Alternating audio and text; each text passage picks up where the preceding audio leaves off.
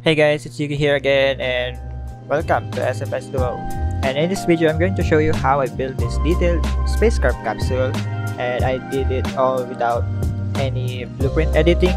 It has windows, uh, structural frame design on the outside, and also the framing inside the windows.